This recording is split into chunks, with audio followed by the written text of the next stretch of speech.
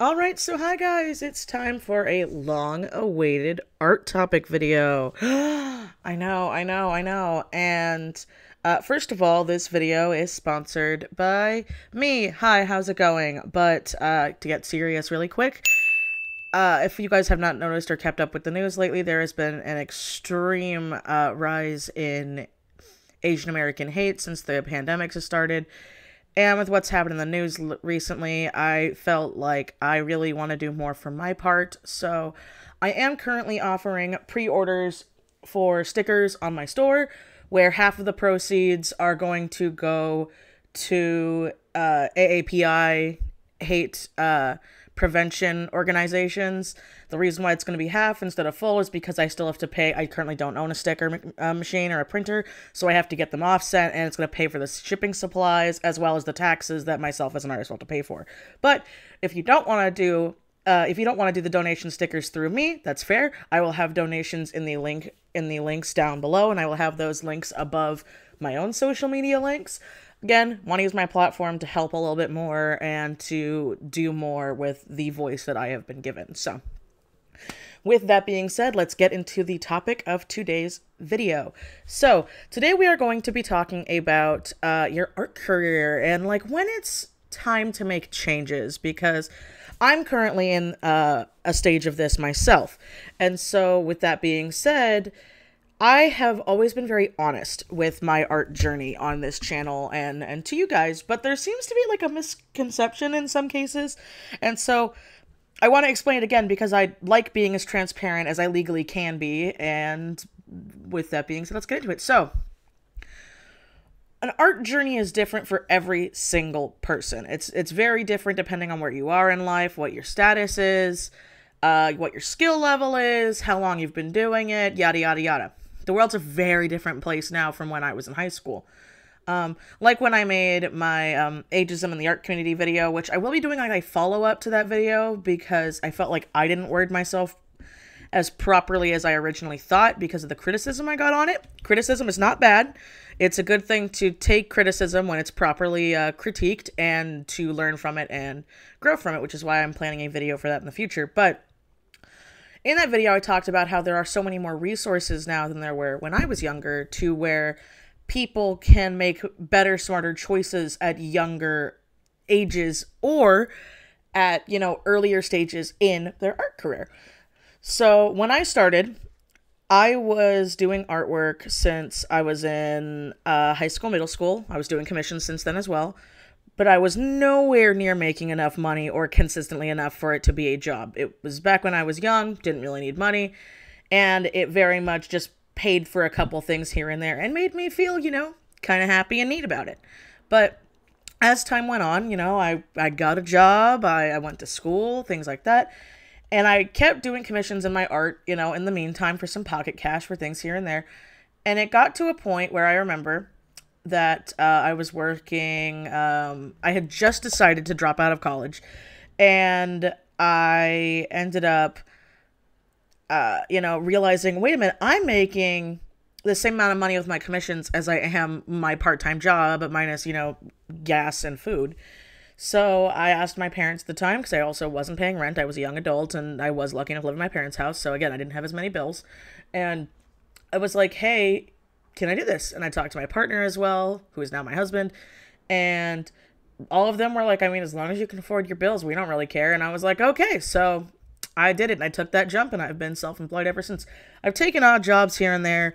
I've always talked about that. There's no shame in that or having to pick up side work. Uh, again, I have always been a firm believer in you need to survive. You know, you need to like making art your career is a very very big jump for a lot of people and it's also why I personally believe that everybody should do retail at some point in their life.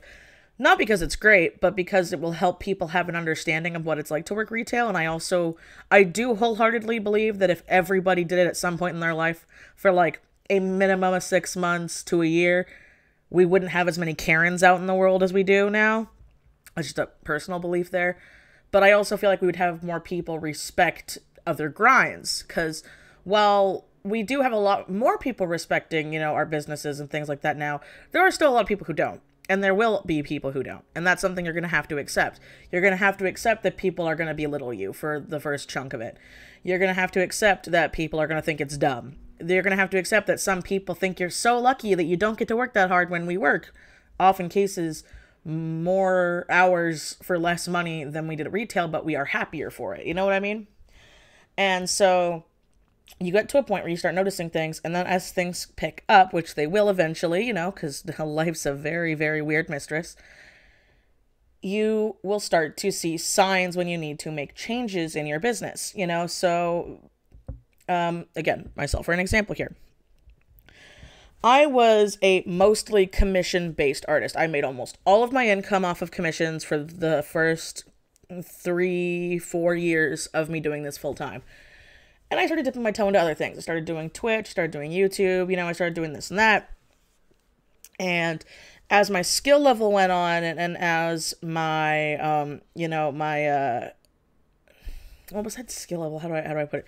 My um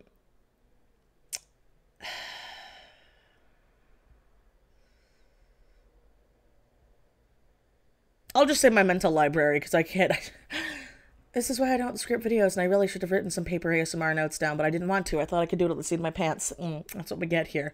But you will notice things starting to change. Uh, as I've gotten older and some things have happened in my life more recently, I've not had to take commissions as much as I used to. I've been putting my money into other things. You know, I have money in my Patreon where you can save money, you know, with time because my artwork now is taking a lot longer than it used to, but I'm much more proud of the work I am producing. This is something else you need to worry about and think about too. You know, if you can pump, pump, pump, pump, pump, pump, pump, pump, pump artwork out like I used to be able to, that's great. But eventually you're going to have a lot more burnouts. You're going to have a lot more this and that.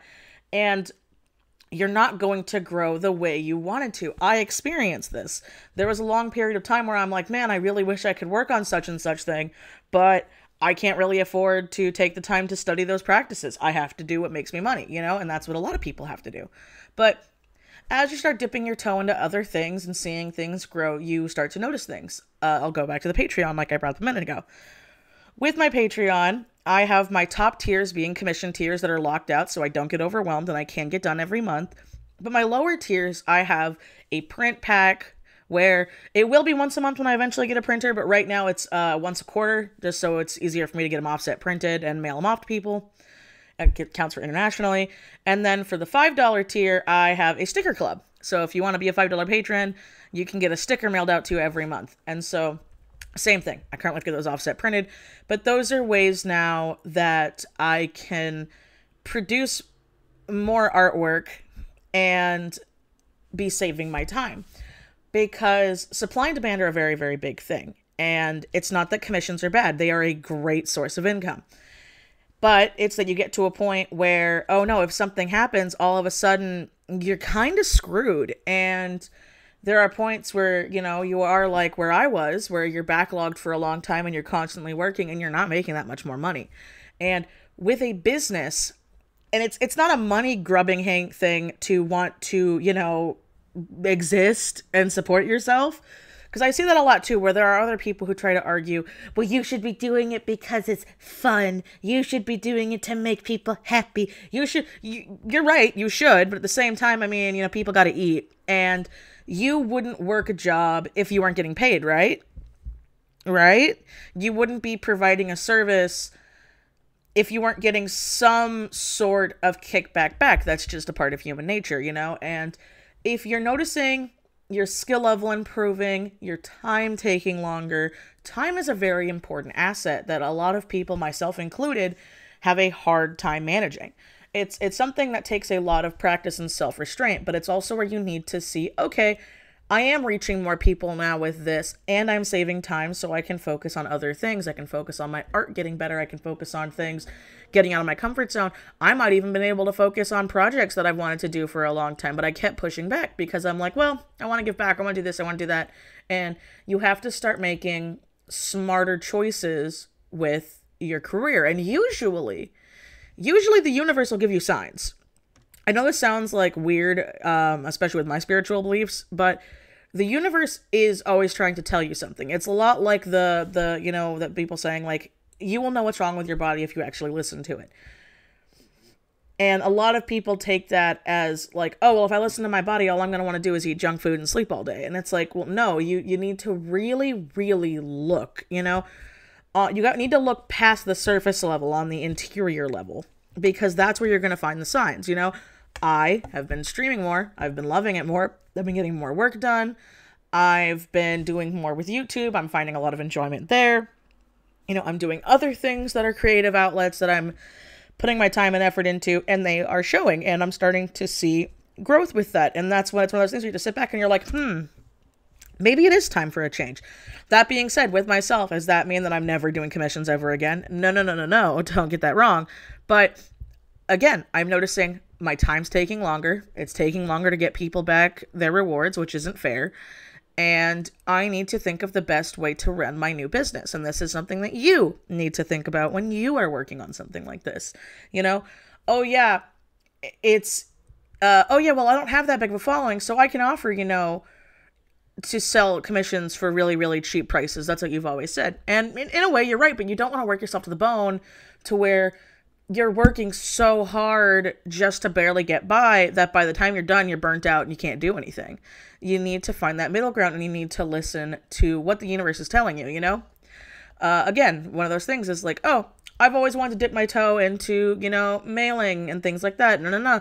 Okay, get supplies over time, see how it works out, see if it's a good enough investment for you. Because there are other people who jump the gun and they see stuff on TikTok, they see stuff on YouTube, and they don't see the time and effort put into it. They just see, oh my God, uh, this person makes five thousand dollars a month. I'm throwing a random number out there. I, I don't. I, I know there are some people who exist like that, but I know it's not everybody. On just making stickers, isn't that great? And then it's like, oh yeah, but they're not putting into account, uh, you know, the thousand dollars for the computer, the tablet, you know, combination, uh, the you know estimated thousand dollars for a good printer, good paper, you know, the sticker cutter, shipping supplies, and then the time and energy to make said stickers, to mail them out, to get other things printed, because there are other things that go into a business where you need business cards, you need thank you letters. That's also that's also ink, money, and supplies that you're not getting back. Stamp and postage. Uh, you need to worry about uh, sales tax information. You need to worry about, um, you know, when you're shipping overseas, how you're going to deal with that because it's not it's not as easy as buying an international stamp at the store and slapping it on there. There's a lot of work that goes into it on your end, you know? And then you see people do this and they invest so much in it. And then it end up being like, wow, I made $50 in a month off of all this stuff, off of a sticker thing. And it's like, yeah, that's kind of how it starts. That's why most people do it when they're doing it in their free time in between things with collecting things. And then when they start to notice, it's like how I was years ago, where it's like, wait a minute, I'm making the exact same amount of money doing X as I am doing Y. So why don't I just go do X and then I see where it goes from there?